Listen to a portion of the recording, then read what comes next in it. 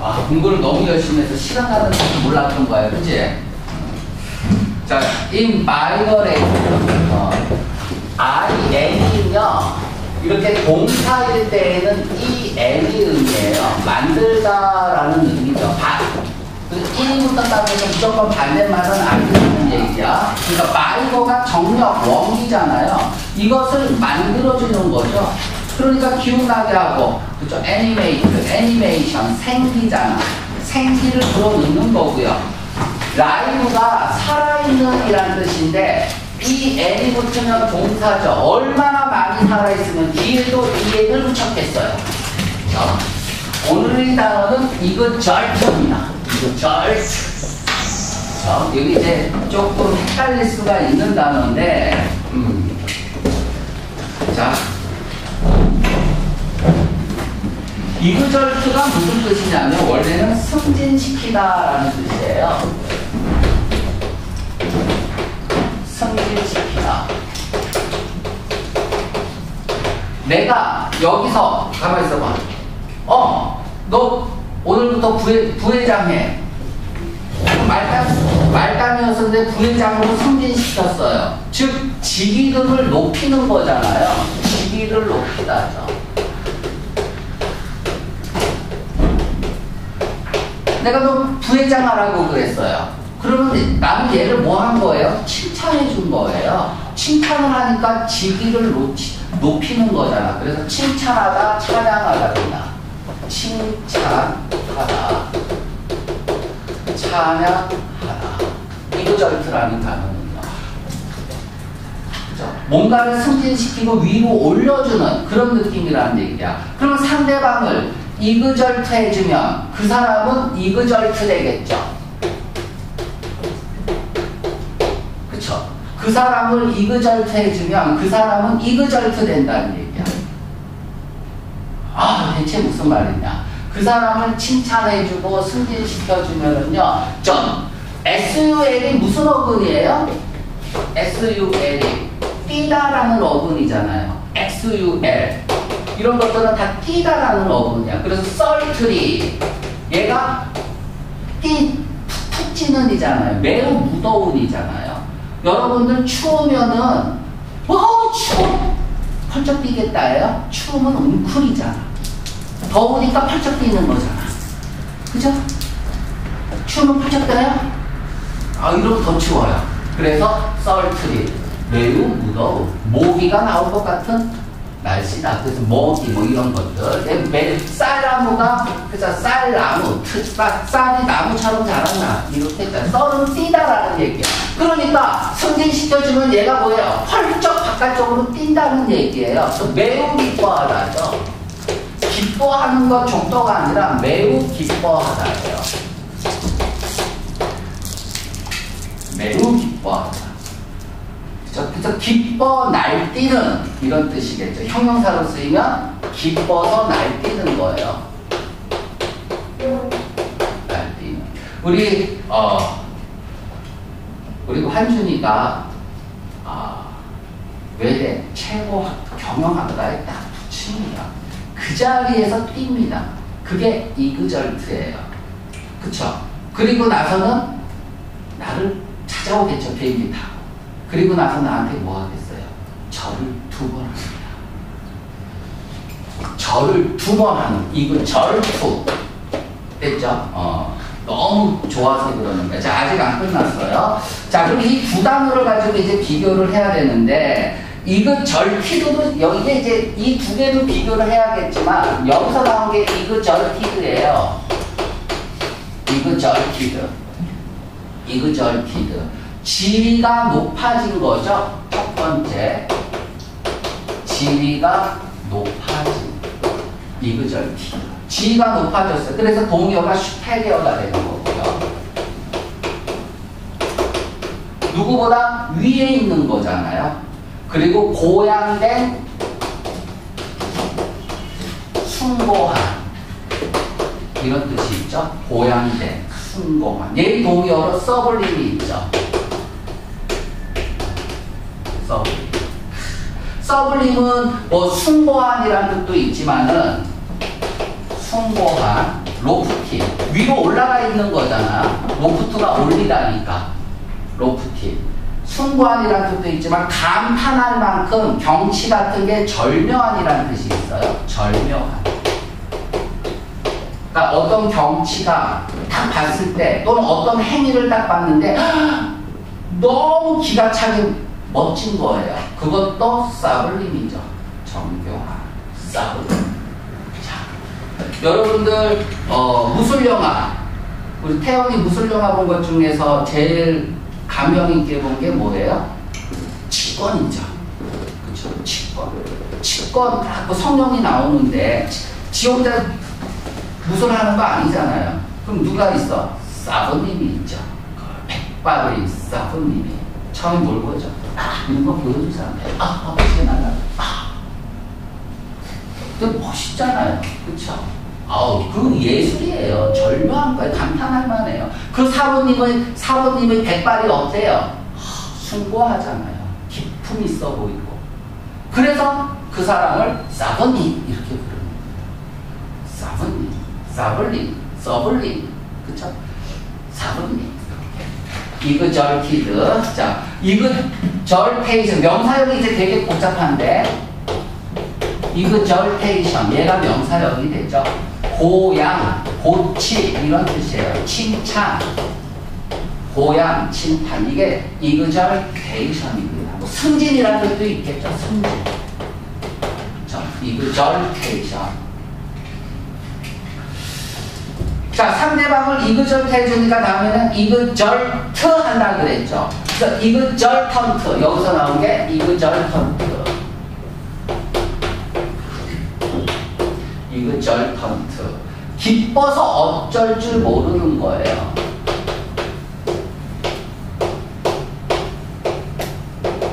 팔짝팔짝 뛰고 있는 거죠. 그래서 기뻐서 자 외래 경영을 붙었어요. 이거 아니야, 그죠? 그 다음에 뭐해? 나 찾아올 때 이거 절다 두 번, 이거 절투 하고 딱 이제 어깨 그 다음부터 어깨 힘들어요. 떨어지면 예비 명단 붙을 때까지 이루고 있어야 돼. 붙었어. 빡 피잖아요. 그죠? PC방 갈 때도 하면 빡, 술집 막 들어가. 그치? 술 먹다가 걸려가고 또 막 그러고. 자, 그래서 의기양양함이에요. 중요한 거 의기 일레이트 하고 동요가 된다는 걸 알아야겠네요. 1등이 된 성적표를 엄마한테 내주면 엄마가 뭐예요? 이씨 1등이냐고 기뻐서 어쩔 줄 모르죠. 그리고 엄마의 어깨에 힘이 딱 들어갑니다. 엄마도 의기양양해요. 이거 절카운트 그럼 그거 보고 내가 1등 딱 주니까 우리 엄마가 기뻐 날 거예요 울기 양양해요 그럼 그거 보고 내가 엄마한테 뭐라 그래 이거 좋단다 이거 좋단다 이거 좋단다 아안 그래요? 제가 알아 아이고 기뻐 날뛰네 좋단다 됐어요 됐습니다 형용사 여기 두 개가 있어요 이그절 팅도 있습니다. 이그절 팅. 얘는 환희의 찬이에요. 환희의 찬. 이게 얘 기뻐서 어쩔 줄 모르는데 조금 더 고급스럽고, 그쵸? 고급스러운 단어죠. exulting은. 얘가 같은 말이 jubilant로 많이 나오죠. jubilant. jubilant. 스펠링이 jubilant. 주블린이 아니라 jubilant 써보세요. jubilant. 얘가 환희의 찬이에요. jubilant. 자, 교회 다니는 사람이 있나요? 교회 안 다니는? 어, 그치. 주한테 빌어본 적 있죠. 자, 이러고 빌어요? 1등하게 해주세요. 돈 벌게 해주세요. 이래요? 아니면 돈 벌게 해주세요. 이래요. 차죠. 얼굴 기도할 때 여러분이 기도하는 사람들의 얼굴을 보세요. 절대 안 찡그립니다. 일단 웃음을 머금고 있어요. 왜? 뭐 해달라고 그러는데 정말 해줄 것 같거든요. 얼마나 기쁘겠어요. 그러니까 정말 기쁨에 차서 주한테 빌어요. 그래서 주빌런트예요. 주한테 빈다 그래서. 주빌, 주한테 빌 때. 자, 네, 요번 주 일요일 날 다 교회 가세요. 그리고 한번 빌어보세요. 1등 하게 해주세요. 그러면서 자기가 웃고 있는지 찡그리고 있는지 아 웃고 있구나. 아 주한테 빌 때에는 내가 환희에 차 있구나. 그렇죠? 그래서 좋아가고 와 이거 좋다 하고 있는 거예요. 됐습니다. 어, 한예 이그절 테이션 명사형도 씁니다. 환희겠죠. 환희 열광 환희 열광 중요한 건 이 두 개를 비교할 수 있겠냐라는 얘기예요. 이렇게 이 두 개를 얘랑 얘를 비교할 수 있겠냐 비교하는 게 이제 시험 문제 잘 나오니까 그렇죠? 자, 이런 단어들은 잘 기억을 해야 됩니다. 음. 자, 아직 그럼 요거랑 비슷한 단어들을 조금 더 해봅시다. 음. 음.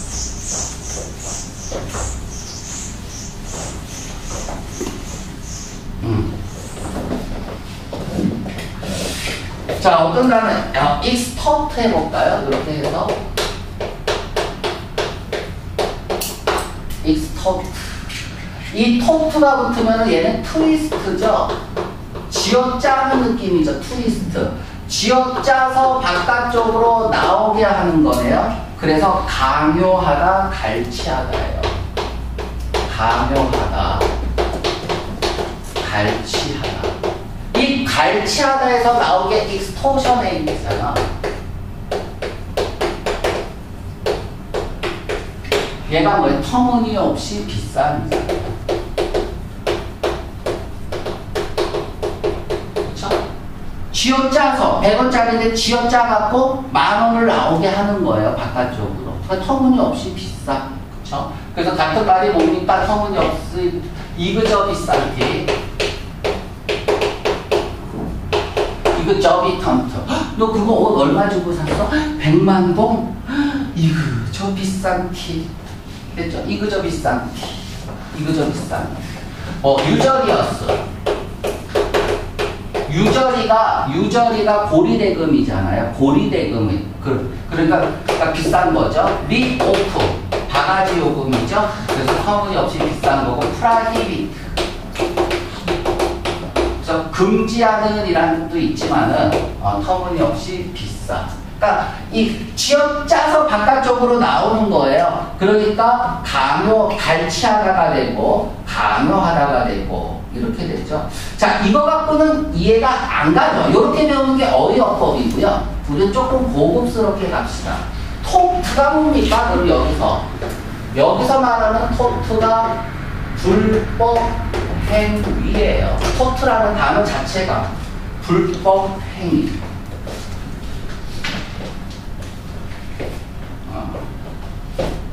우리 민성이를 내가 어릴 때부터 주워왔어요. 그럼 내가 밥만 밥 먹여주고 공부시켜주고 학원 보내주고 키울까요? 아니면 돈 벌어오게 할까요? 돈 벌어오게 하겠죠. 그래서 불법 행위를 바깥쪽으로 원래는 꺼내는 거예요. 그래서 제로 민성이로 하여금 밖에 나가 새끼야 앵벌이 해 이러는 거예요.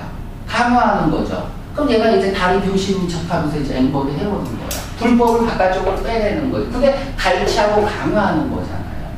그렇죠? 그래서 그렇게 이제 토트라는 단어를 다 불법 행위라는 것을 알면 좀 쉽게 접근을 할 수 있습니다. 자, 두 번째 정말 중요한 단어죠.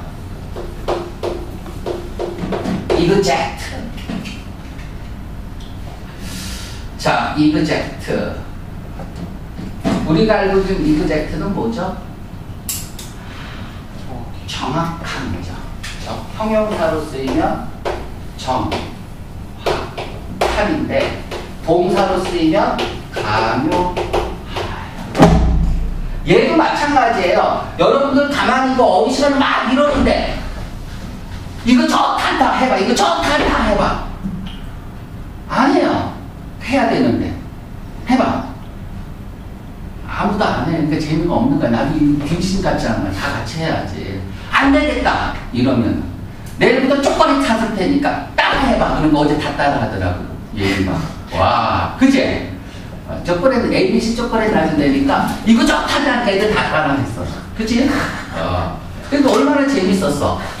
그치? 자, 지금 뭐 하는 거예요? 행동이 안 나오니까 행동을 끄집어내는 거잖아. 이건 강요잖아. 이거 좋다는 해봐. 이거 좋습니다. 그렇지. 지금 강요에 의해서 정확히 이거 좋단다라고 하잖아요. 지금 뭘 끄집어낸 거예요? 행동을 끄집어낸 거잖아요. 행동을 바깥쪽으로 안 하니까 바깥쪽으로 끄집어낸 건 강요한 거잖아요.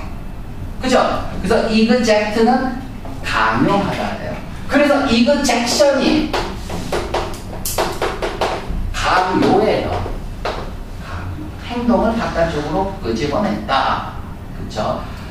뭐 이것만 그러면 이제 어, 정확한에서 나온 게 그래서 여기서 정확한에서 나온 게 이그젝팅입니다. 써보세요. 이그젝팅도 시험에 잘 나오죠. 이그젝팅. 정확한이 아니고 이그젝트가 형용사로 정확한이에요. 형용사로 쓰면 얘는 뭐냐 하면요 힘든 까다로움 이런 뜻이죠. 세심한 정리란 그래서 엄격한이에요.